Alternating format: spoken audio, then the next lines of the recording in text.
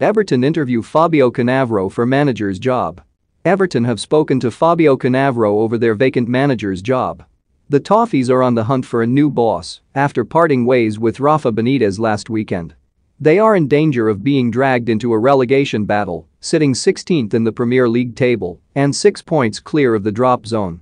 90 Min understands that Everton caretaker boss Duncan Ferguson wants to be considered for the job on a permanent basis, a view shared by his playing squad, while Wayne Rooney, Frank Lampard, Roberto Martinez and Graham Potter are all on Everton's radar.